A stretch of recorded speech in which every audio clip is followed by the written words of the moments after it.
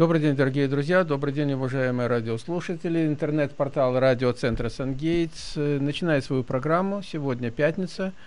В городе Чикаго 8 часов 30 минут, на восточном побережье 9 часов 30 минут утра.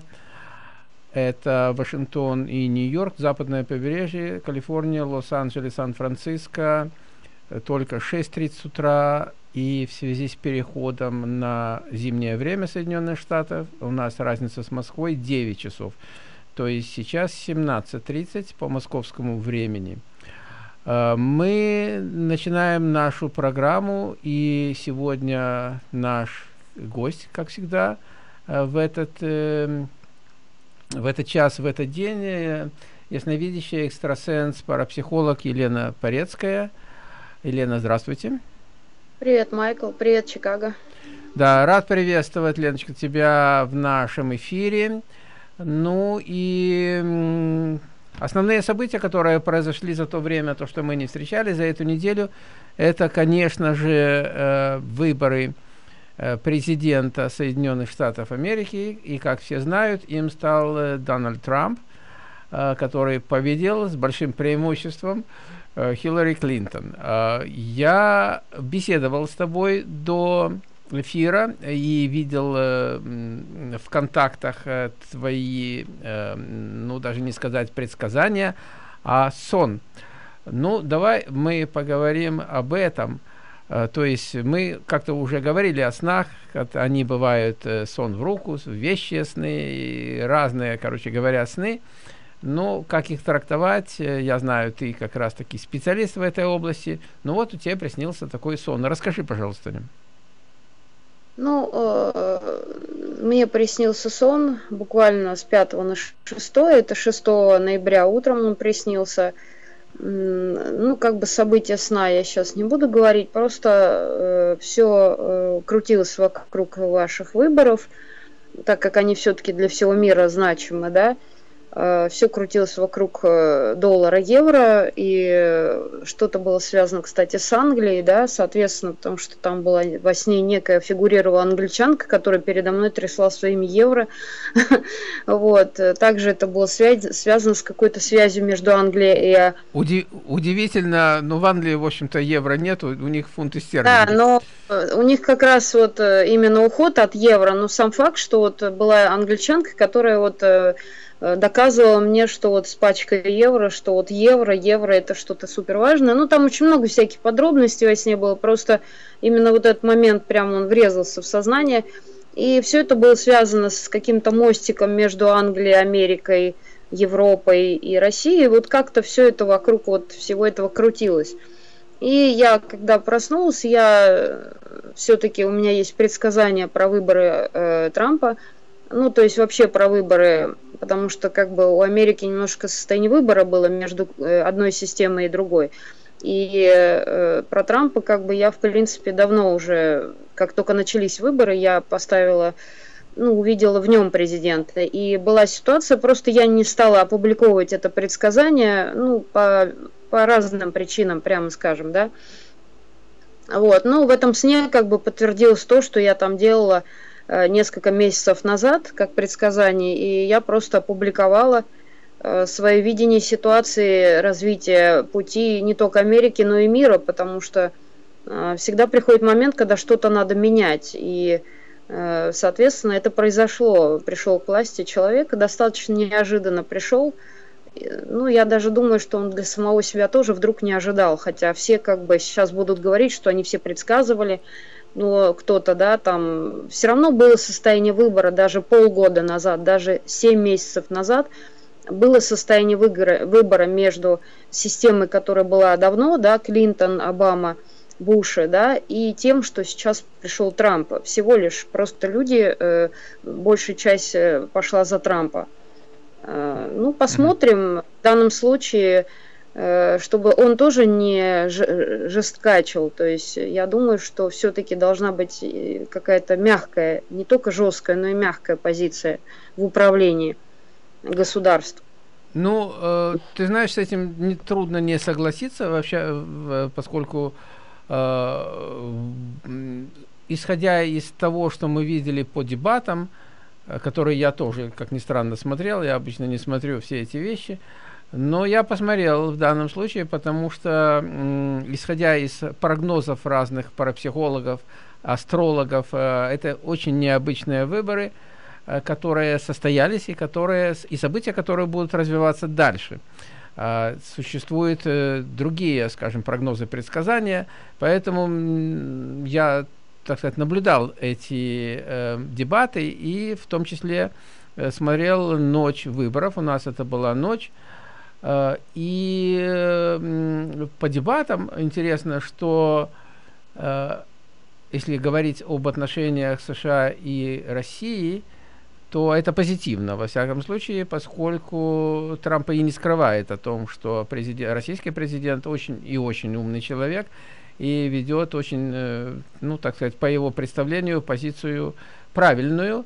Ну, кому-то надо, наверное, о том, чтобы отношения Э, не были хорошими, потому что, не знаю почему, но так, в общем-то, силы какие-то есть для этого. Но в последнее время налаживается, в общем-то, э, понимание того, что это будет неправильно. Разрушение одной системы ведет к разрушению другой системы.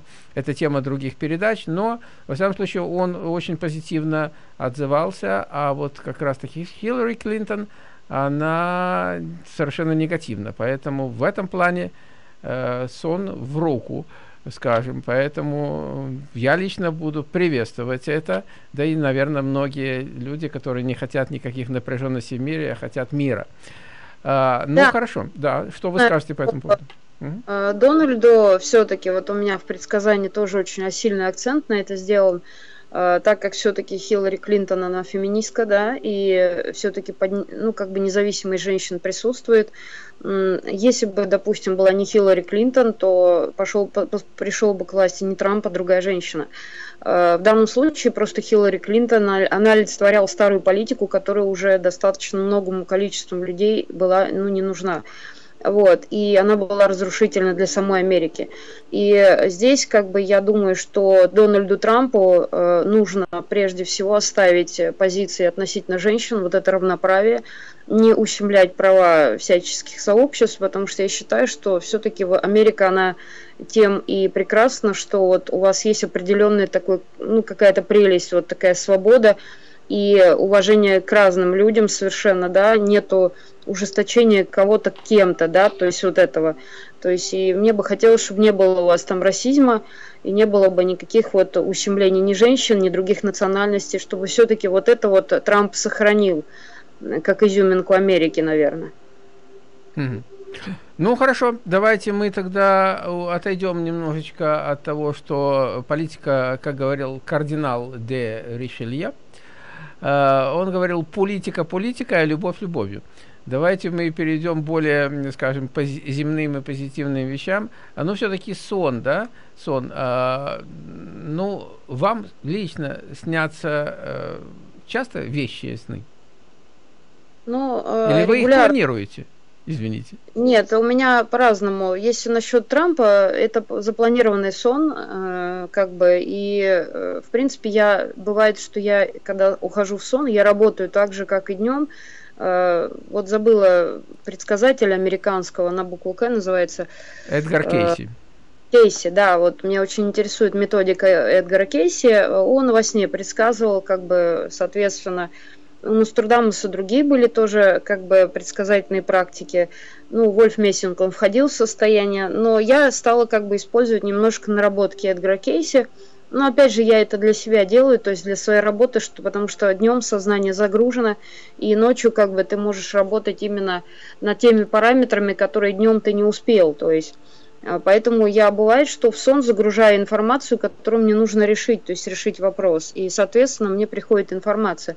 Ну, например, сегодня у меня был даже не сон, это был астральный выход такой в теле, как бы и я скажу такую парадоксальную вещь, я потом резко вышла, вошла в тело, проснулась, и у меня было ощущение, э, кусок сна этого, я скажу сразу, что я во сне э, придумала другую таблицу Менделеева. Что вы говорите? Теперь она будет называться таблица Елены Порецкой? Нет, я не нет? знаю, что это значит, но у меня очень э, факт был зарифмован, что Менделееву во сне пришло решение вопроса по его вот химическому вот этому анализу веществ, да, и он создал эту таблицу как нечто общее в химическом процессе, да, в химии а, обозвав всех, э, все вещества, как бы дав им номер. Возможно, в своем сне я именно тоже создавала какую-то вот проекцию чего-то на уровне вот некой таблицы Менделеева. Я просто видела, что я ее пишу. Я потом встала и думаю, что за таблица Менделеева, я же не химик, я вообще в этом профан, да. Mm-hmm. на уровне порошка Ариэль я могу соображать в химии, да, вот, но здесь вот именно шел такой вот сон какой-то. Я до, до сих пор даже, кстати, не знаю, к чему он, потому что я не могу приложить таблицу Менделеева, которую я писала заново, какую-то новую, к тому, что делаю я. Как бы. Может быть, это будет что-то связано с эзотерикой или какими-то моими проектами, которые позволят э, делать более точные какие-то прогнозы, предсказания. Может быть, какую-то систему свою, которую я упорядочу, скорее всего. Вот, поэтому вот у меня сегодня такой был сон, это утренний тоже сон. Это фаза сна, где как раз любому человеку могут присниться а, решение его вопроса. То есть э, главное загадать. Почему, кстати, перед сном не надо смотреть страшные вещи, да, вот, э, всякие гадости какие-то читать или новости смотреть не очень хорошие, потому что это все идет э, в сон, в подсознание, и человека это рифмуется с его жизнью. Ну и может как-то вот можно сказать, материализоваться потом. То есть человек не всегда встает и запоминает сон. Вот главное зацепить хотя бы кусочек. Хотя основную массу снов мы не помним, потому что они уже нам вспоминаются, когда происходит какое-то событие. А вы, э, ты сказала о том, что сон э, можно, это был запланированный сон. А какой смысл планировать сон? Но когда ты планируешь сон, то есть ты создаешь себе э, файл для решения задач какой-то, да, ты э, убираешь просто все лишнее, ты убираешь разрозненность сознания, то есть э, ну, бывает позиция осознанного сновидения, там, когда человек во сне может даже осознанные какие-то практики применять, бывают выходы в астрал, бывают сон во сне, да, фильм «Начало», кстати, по-моему, там очень хорошо об этом показано. То есть э, бывают всяческие практики, бывает э, хождение на уровне астрального, астрала околопредметного, и люди ходят друг к другу в сны. Есть такие даже сообщества, которые так делают. Но я работаю сама, как бы, и для меня это важно, чтобы в моем сознании ничто чуждое не присутствовало. Поэтому я себе убираю лишнюю информацию перед сном и загружаю только то, что мне нужно. Угу. Понятно. Ну, хорошо. Со снами мы закончили? Да. Со снами закончили. Хорошо, тогда у меня есть э, такой вопрос. Э, опять же, не называя ни лиц, не называя проблему, я знаю о том, что наши программы, они э, кому-то помогают. То есть люди обращаются, и я напоминаю нашим радиослушателям, мы беседуем сегодня с ясновидящей парапсихологом, экстрасенсом Еленой Порецкой – и э, речь идет сейчас э, о чем? Речь идет о том, что, эм, допустим, те люди, которые захотели бы э, что-то для себя прояснить, для себя какие-то вещи, которые они не могут решить в нашем материальном мире, они могут обратиться к Елене Порецкой, могут обратиться также к нам. Наши координаты sungatesradio.com, sungatesradio.com – тройное W, это SunGates 108, солнечные ворота, SunGates 108, это наш Skype. Uh, ну вот, насколько я знаю, пару человек уже обратились, и вот совсем недавно обратился один человек uh, к Елене. Uh, можете рассказать, uh, о чем шла речь? Опять же, если это только не какая-то uh, засекреченная информация. У, ну, там, в принципе, да, получается, у кого-то личное. В основе своей э, обращаются, кстати, вот э, люди именно для восстановления своей энергетики, снятия пробоев каких-то порч и для нахождения каких-то своих путей в жизни, направления, можно так сказать. А, вот, поэтому, ну, кстати, очень многие ко мне вот именно за этим обращаются, там открытие каких-то способностей бывает – то есть после меня обычно у человека открывается то, что было заблокировано. а, ну, как бы, да, в сознании. И бывает, что люди потом добиваются какого-то результата в своем направлении или создают себе новое. Поэтому как-то вот э, все решают свои какие-то проблемы. Лена, прости, перебью. Э, а вот такой вопрос, что, допустим, человек хочет развить себе какие-то способности, а, они зависят, э, как ты говоришь, от какого-то негатива, который был в прошлом пришел, ты снимаешь негатив и развиваешь способности, или это какой-то специальный обряд, мы все обладаем способностями, не все просто это знают, не все в это верят и так далее. А как э, практика, вот как ты практически, если можно сказать, это делаешь? Ну, э, все делаю через э, свою систему, система снятия негативки, очистки человека. Да. Дело в том, что когда люди рождаются, они как некий чистый лист бумаги, можно так назвать. Но на самом деле чистый лист бумаги для той среды, в которой человек родился. А, по мере возрастания человек начинает замусориваться, да. Угу. Ну, все мы прекрасно знаем, что мы не ангелы, и в детстве кто-то как-то хулиганил. То есть я так называю это понятие сломанной веточки. Все мы знаем, что многие проходят через школу, и школа, и учителя иногда становятся блокираторами сознания ребенка. И э, когда ребенок вырастает, очень многие вдруг ощущают, что они заблокированы. Э, я называю это шлем э, блокировки, то есть это на человеке некий такой шлем присутствует, человек через него не может понять то, что у него было заблокировано когда-то. То есть в школе когда-то учительница могла человеку грубо сказать, увидеть его идиотом или дурочкой какой-то, сколько таких случаев, да, и человек за эту, ну как это сказать, за этот план не может выйти, вот за этот потолок, который на него одел учитель. То есть вот. это вот с тех пор все и тянется? Да, все тянется оттуда, это вот такие Прямо блоки. из детства, да? Да, я снимаю mm-hmm. обычно блоки. Это бывает, кстати, от родителей, очень сильные блоки от родителей. У меня бывают случаи, когда люди ко мне обращаются, где очень негативные отцы. Кстати, да, и эти люди, э, ну, просто до сих пор помнят негатив от папы, или бывают негативные мамы, да. А, то есть выглядит это так, что человеку, там, может быть, уже 40-50 лет, а у него до сих пор детские обиды, и неотработанные моменты. Я обычно при снятии негатива в моей системе такой, да, у человека начинают открываться вот эти файлы, и я объясняю, как надо отрабатывать вот детские обиды, э, убирать их, соответственно, тоже это убираю, человек вот мне обычно рассказывает что-то, какие-то минусы, я это все контролирую. Вот. Но блоки у нас все идут оттуда. Ну, могу свой блок привести, пожалуйста, в пример. Я с собой также работаю, как со всеми. У меня в свое время я рисовала в детстве, в 6 лет. А, спасибо большое моей воспитательнице коммунистического плана. Женщина очень была такая. Она мои рисунки собрала и отнесла, а, отдала маме, сказала, что надо показать их. И мои рисунки отнесла мама в детский дом пионеров, это на Ленинских горах в Москве, Воробьевы горы, это тогда престижное место считалось. Вот. Естественно, там дети богатых, обеспеченных советских людей у нас учились, да.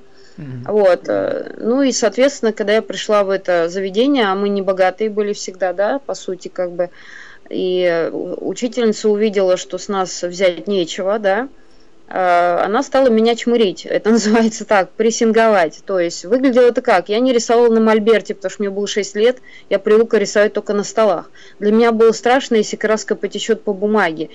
То есть человек вместо того, чтобы учить меня, как рисовать акварелью, да, на бумаге, как подбирать кисточкой краску, как вообще это все делать, то, чему вообще обучают, она стала э, меня угрожающе как-то это все делать. Соответственно, я уперлась рогом и просто не стала рисовать. Она стала хамить и говорить моей маме, что это, наверное, моя мама сделала рисунки.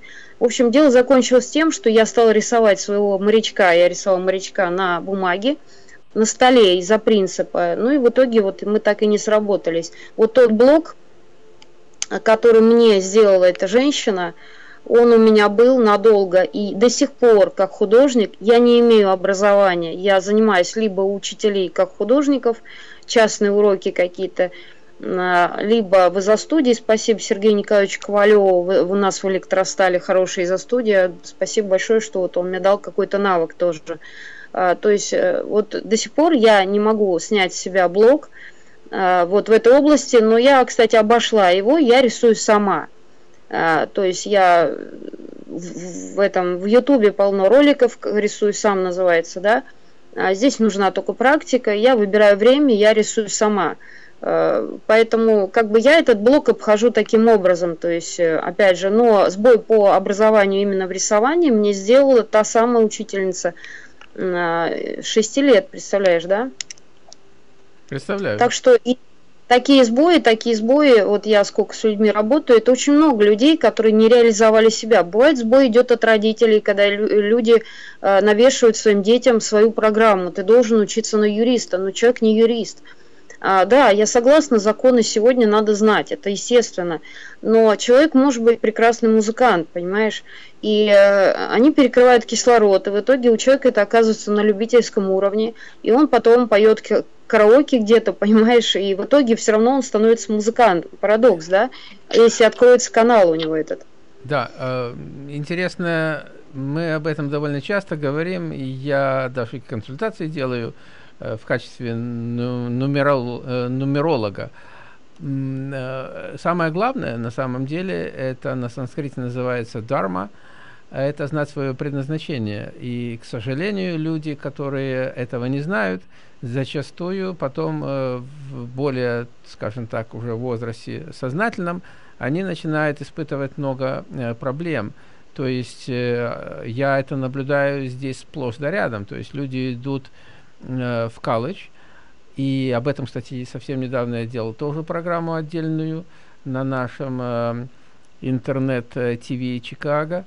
Э, и речь идет о том, что, э, то есть здесь такой закон, как бы, э, американцы, они, э, родители собирают деньги на образование, поскольку образование сегодня везде, по-моему, во всем мире уже стало платным. Я помню тот момент, когда мне платили за то, что я учился, э, стипендию давали, а сейчас платить надо, причем немало. Так вот, они собирают эти деньги, собирают, собирают, работают, работают, э, представляешь, сколько надо собрать, э, примерно 200-250 тысяч, за 4 примерно с половиной года обучения каждого человека. То есть это надо 40 э, тысяч, э, примерно средняя такая вот на, в год, отложить на одного ребенка. А если семья из двух человек, и двое идут в колледж, тогда это 80 тысяч надо отложить в год. Где же такие О, зарплаты, а плюс все остальное. Это только просто отдельный день, которые идут на образование. И это каждый год надо откладывать. И вот этот ребенок, э, куда родители ему дают программу, или сам он из бухты-барахты идет куда-то учиться, э, потом выясняет ни с того ни с сего, там на втором каком-то курсе института, э, колледжа это выясняет о том, что ему это не нравится. Что делать? И надо переучиваться, тогда это все никому не надо. Я знаком с этим не понаслышке. Это мой младший сын, который пошел учиться, потом вдруг ему взбрело в голову пойти защищать родину, которая тоже никто не нападал, он пошел. Э, защищать э, родину. Э, здесь же нету всеобщей воинской обязанности, как это есть в разных странах и было в бывшем Советском Союзе. Я это тоже, кстати, делал. Но здесь вольно наемные, и он пошел по своим каким-то вот идеям. Ну, опять же, но время уходит, деньги потрачены. И это очень важный момент, когда, естественно, надо это знать. Поэтому э, ответь, пожалуйста, на такой вопрос. То есть ты, допустим, к тебе, примеру, обращаются родители с просьбой посмотреть своего ребенка. Э, не то, что у него там что-то там не в порядке, а с просьбой посмотреть, э, на что он способен, куда его направить, куда, э, скажем, ему пойти учиться. Ты могла бы такие вещи сделать? А, да, я работаю так в таком ключе. Либо родители с фотографией ребенка приходят, либо онлайн, да, мы решаем вопрос, либо сам ребенок даже. Угу. Но я обычно, когда ко мне приходят э, люди со своими ну, проблемами, все равно я, вы... я работаю не с одним человеком, а комплексно с семьей, да, естественно. И обычно с детьми тоже приходят с фотографиями или ну, без самих детей, да, потому что в основном это такое таинство не для детей гадания. Вот. И э, бывают моменты, где я э, сразу говорю, какой направленности ребенок и на что надо обратить внимание. Вот э, так получается, что сразу это выпадает.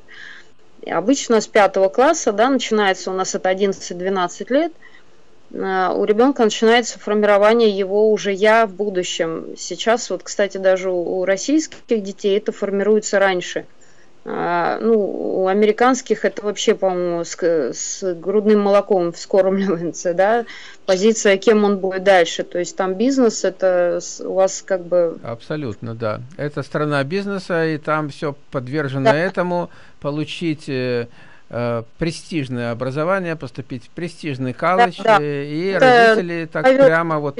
Я это называю полное зомбирование – Э, и имею мое отношение к этому, я неоднократно его высказывал, да. Угу.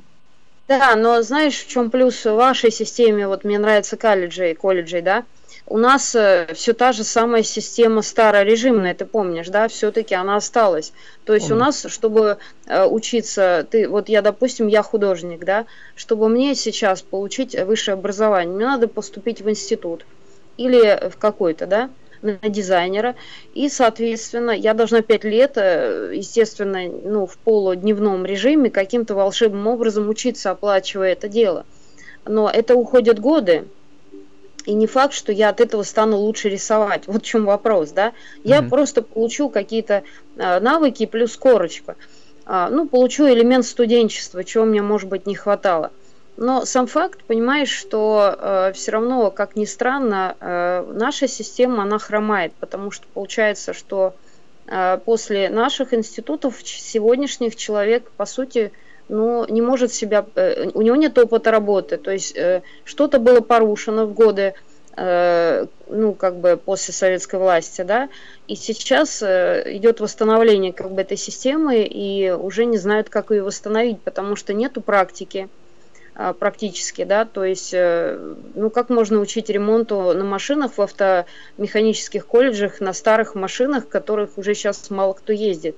А, ну, скажи, ну никак, ну, карбюратор уже сейчас на машинах не стоит, зачем на нем обучать людей ремонту карбюратора, ну, скажи. Вот, то есть, вот так у нас э, во многом. А в Америке мне очень нравится, у вас есть институты ясновидения, у вас есть институты, у вас есть колледжи, а, где 40-летний человек может пойти и изменить свое направление, проучиться там и стать специалистом в совершенно другой области. Я вот. Э, скажу, прости, больше. Uh, у нас это как любви все возрасты покорны, да, uh, его порывы и так далее. Так вот, у нас uh, все возрасты покорны для тех людей, которые хотят чему-то обучаться, Э, более того, есть такая вот э, бабулька, э, которая пошла обучаться в возрасте, в колледж, поступила в колледж, обучаться в возрасте 82 года. Ну вот, казалось бы, зачем в 82 года бабульке идти обучаться? А речь идет вот о чем. С, с чем, конечно, большинство людей как бы не согласны. Вот внутри вот этого скафандра, костюма, именуемым нашим телом, существует некая субстанция, которая называется душой. И эта душа, э, инкарнируется в какое-то другое тело с определенным промежутком времени.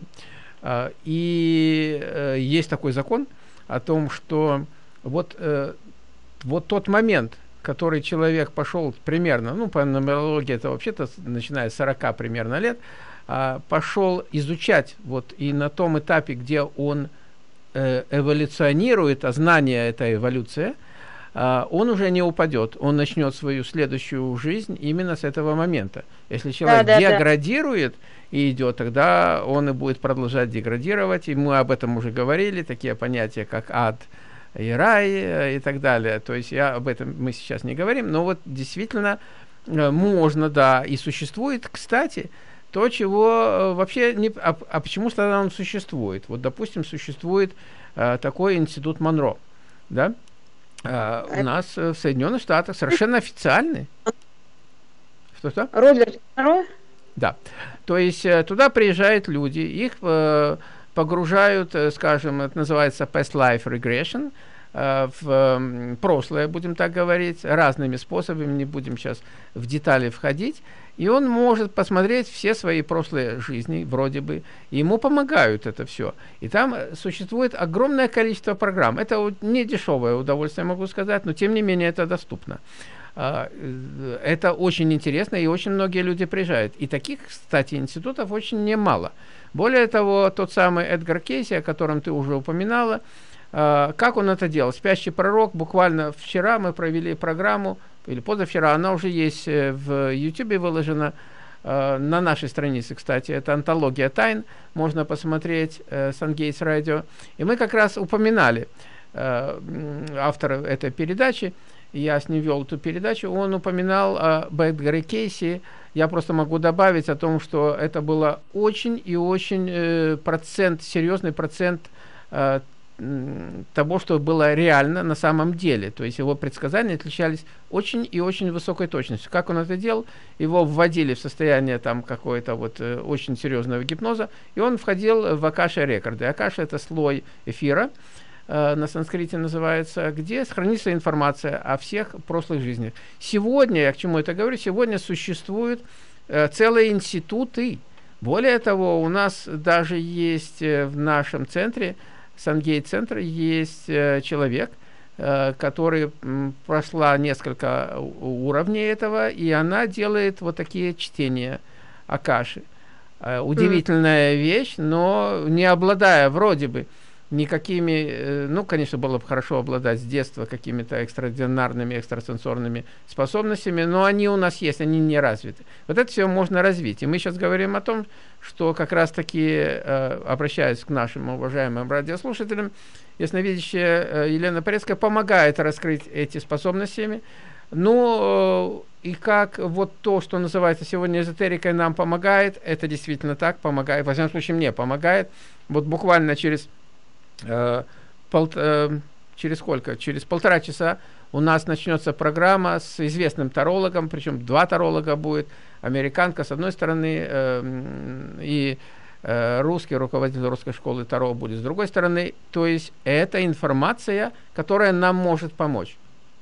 Вот я приводил пример. Лена, вот скажи, пожалуйста, Uh, у нас есть в том здании, в котором находится центр Сангейтс, у нас на первом этаже находился ресторан, русский ресторан.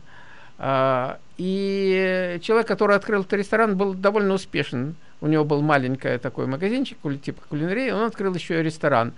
А, ресторан вылетел из бизнеса через полтора года. Это за полтора года было потрачено огромное количество, наверное, средств, это понятно. И просто так не вылетают, значит, из бизнеса, наверное, вот так оно было. Скажи, пожалуйста, вот, к примеру, а, вот идея пришла человеку открыть этот бизнес, неважно, то ли это ресторан, то ли другой. А, мог бы ли он обратиться к тебе, а, и ты могла бы ему сказать, этот бизнес будет успешным или этот бизнес не будет успешным? Если да, то какова все-таки вероятность такого предсказания? Ну, вообще-то да. Во-первых. Во-вторых, у хозяина этого ресторана а, были проблемы. То есть там можно было удержать бизнес, он был перспективный. То есть там просто нужно было периодически ему снимать негатив, у него это из прошлого шло. И я думаю, что даже вытянуть можно тот бизнес, который, в принципе, еще тогда не рухнул, а сейчас вот его уже нет. А, то есть там все можно было изменить. Э, в принципе, любую ситуацию человека или бизнес можно изменить. Э, фатальная ситуация, где уже все пошло не так, э, и где человек сдался, сдулся, там уже, конечно, изменить трудно, когда сам человек говорит, да нет, я не буду ничего менять, я лучше закроюсь там и прочее. Вот. У меня приходят люди, кто решает вопросы с бизнесом какие-то, и в данном случае всегда люди выруливают, у них что-то получается. Просто опять же, у каждого все равно идет та интерпретация, которую он через свой опыт протащил. Понимаешь, свою голову mm-hmm. я все равно каждому не могу поставить так же, как и ты. То есть я говорю предсказания, я контролирую, там, помогаю, вытягиваю бизнес, воздействую на рост, но человек должен выполнять те или иные установки, которые я говорю, чтобы у него это двигалось нормально. И, соответственно, сам не нарушать каких-то моментов, которые, кстати, тоже очень, а, когда сам человек что-то нарушает, у него тоже может быть возвратный удар, и он может э, из-за этого тоже может рухнуть э, почва под ногами, да. Mm-hmm. Поэтому вовремя просто нужно было, наверное, обратиться, и бизнес можно было поднять, ну, удержать, я бы сказала так. Mm-hmm. Ну, э Можно. Ну вот, э, дорогие друзья, наши уважаемые радиослушатели, опять же, обращаясь к вам, э, мы не договаривались с Еленой Порецкой о том, что мы будем говорить об этом человеке, об этом бизнесе, и она, на самом деле, понятия не имеет, кто это человек. Это... Но вот ты такую фразу мне любопытно сказала о том, что у него был негатив. А каким образом ты это знаешь, что у него был негатив? Исходя из того, что закрылся бизнес, ты или ты это знаешь, видишь? Ты же знаешь этого человека, и я его знаю.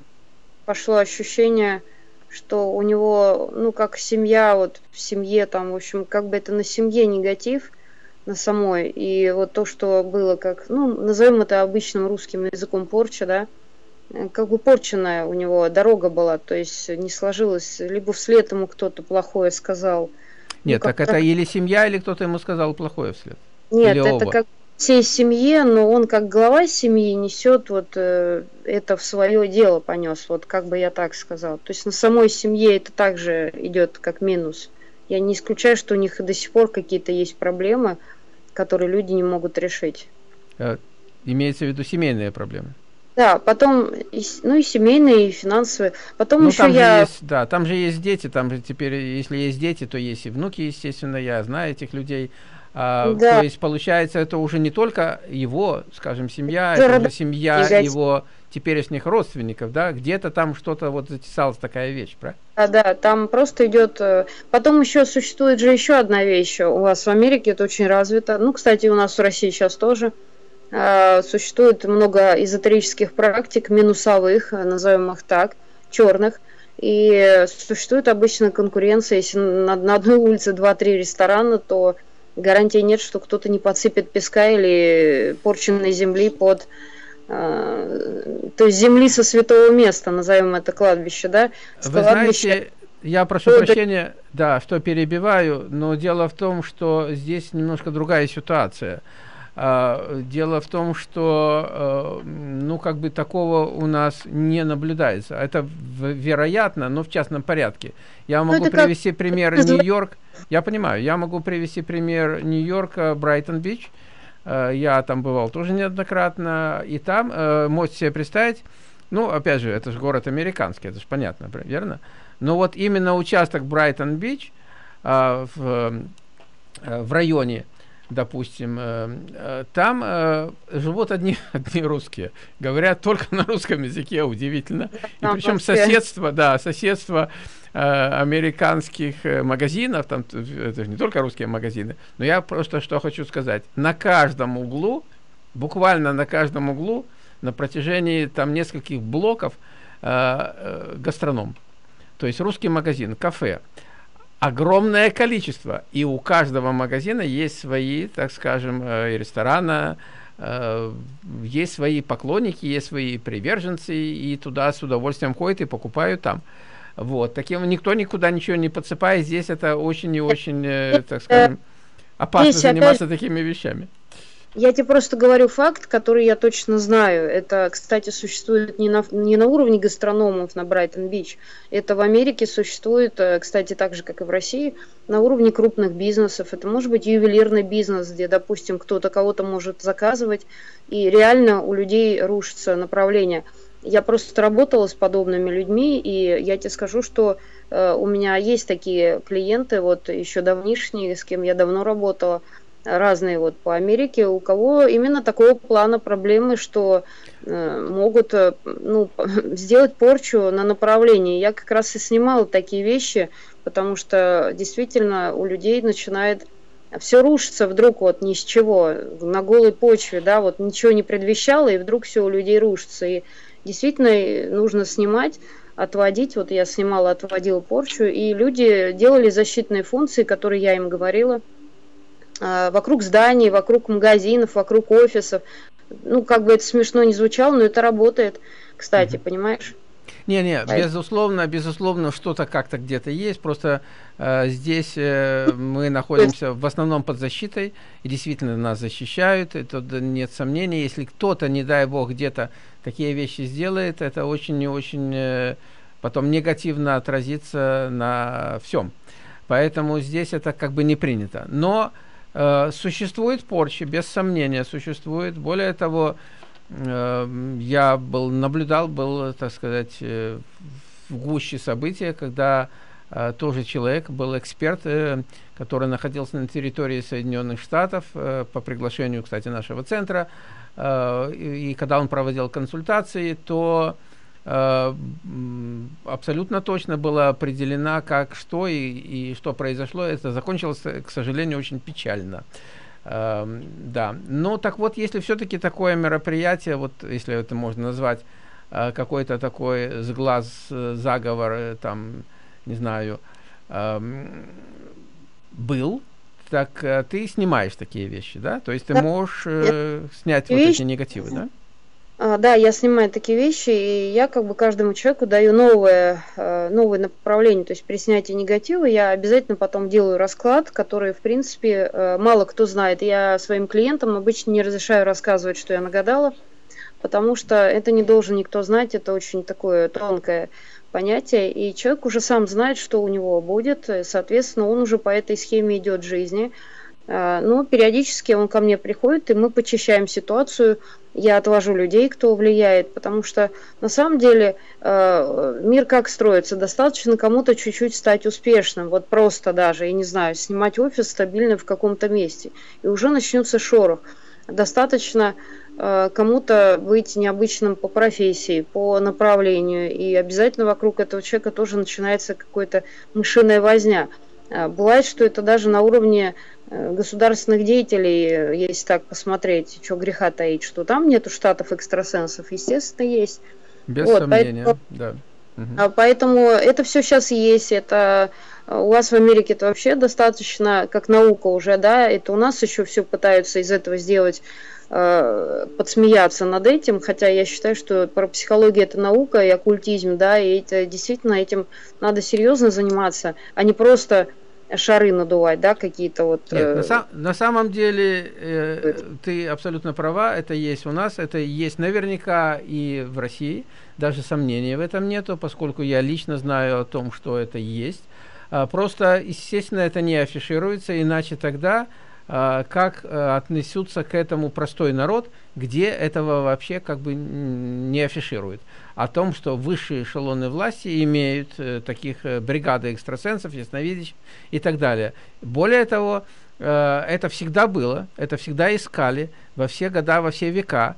Э, мы знаем, что такие фамилии Яков Блюмкин, э, Бокий, э, Барский, это те люди, которые были, это еще со времен НКВД, когда искали Шамбалу, то есть всегда э, было что-то такое, какой-то был целый бригады, целые институты, которые занимались такими паранормальными явлениями, и сегодня они есть. Более того, и сегодня и пользуются. Просто об этом никто не говорит. Я даже больше того скажу, что сила каждого государства, сила каждого государства зависит от силы э, парапсихологов и пророков или магов в этом государстве. Не от силы религии там, или веры во что-либо, а именно от силы специалистов по эзотерике, потому что и от их чистоты помыслов, то есть мы сейчас не берем тех, кто просто деньги на этом зарабатывает, да, мы сейчас берем реально, кто э, разрабатывает свои направления – и э, миротворец, да, как вот был Вольф Мессинг, да, то есть мы сейчас берем такой уровень экстрасенсов, вот, то есть от силы таких людей, от видения их ситуации, как они видят мир и ситуационные моменты вокруг стран, вот от этого зависит сила той или иной страны, вот в чем дело сейчас.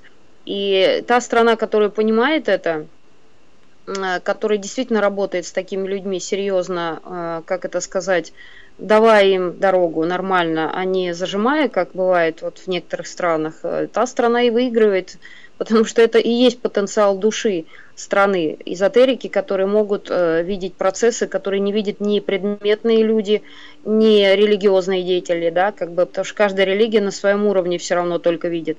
Вот. И те люди, кто может снимать негативные воздействия не только с людей, но и со, со страны самой, да, там, меняя ход событий истории – кстати, как это получилось с выборами в Америке, да, поменялся ход истории, кстати.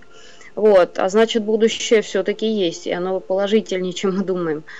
Поэтому в этом случае, э, конечно, вот это самое главное. И именно та страна выигрывает, которая создает э, благоприятные условия для подобных людей, чтобы они работали на свою страну. Ну, наверное, очень коротко, последний вопрос. Имеет ли значение, скажем, э, э, человек хочет организовать какое-то свое дело, или это дело уже организованное и очень крупное дело, имеет ли значение индивидуал, который приходит, допустим, на консультацию, в данном случае к тебе, э, парапсихологу, или не имеет значения по отношению к какой-то крупной системе, крупной компании? Ну, крупные компании обычно приходят сами, кто хозяин этого направления, либо там, ну, кто-то из директорского состава. А, потому что, ну, тому, кто работает на крупную компанию, по сути, ему важно только, чтобы ему зарплату платили. Вот. В принципе, важно хотя бы, чтобы приходил человек, который содержит это направление, чтобы оно а, могло грамотно идти дальше. Вот ну, по сути, так и приходят. Приходят, бывает, что своих, э, как это, просматривают людей, кого нанимают на работу, знаешь, кого брать, кого не брать. А, бывает, что приходят и спрашивают, как ты думаешь, вот этот человек там не нравится руководителю, как ты думаешь, вот что с ним? Я начинаю смотреть, и мы разбираем, почему этот человек Но, вдруг хорош. Ну, в общем-то, я имел в виду, скажем, для тебя – Э, как специалиста, как консультанта, не имеет в принципе большого значения, то ли это индивидуал пришел э, один, или там больше работы, там большее количество людей надо просмотреть и снять негатив, допустим, партнеров больше, правильно? Или это в ну, принципе не имеет значения?